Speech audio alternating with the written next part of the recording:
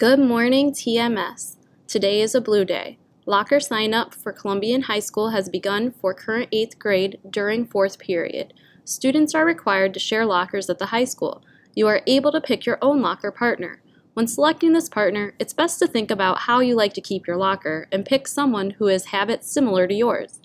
Once you've selected your locker partner, the two of you must go to Mrs. Joyce's office together during lunch or intramurals to sign the sheet.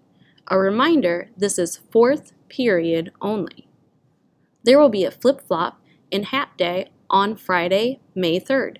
Please pay your first period teacher $1 to wear one of them or $2 to wear both.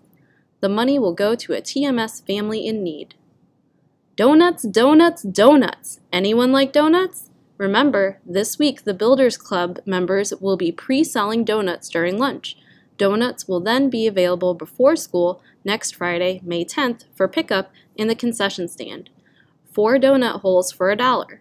Don't forget to purchase these and enjoy. The Builders Club would like to thank everyone for their support in ordering hot chocolate to raise money for books to give to children at the Tiffin Mercy Hospital. A total of 118 books were ordered because of your generosity. Thank you for the ability to be placing books into the hands of so many children. Way to go, TMS! Today for lunch, you will have a Dutch waffle sausage, barbecue pork wrap with coleslaw, fresh veggie dip, romaine salad with dressing, fresh fruit, peaches, and a half pint of milk. These have been your TMS morning announcements. Have a marvelous Monday.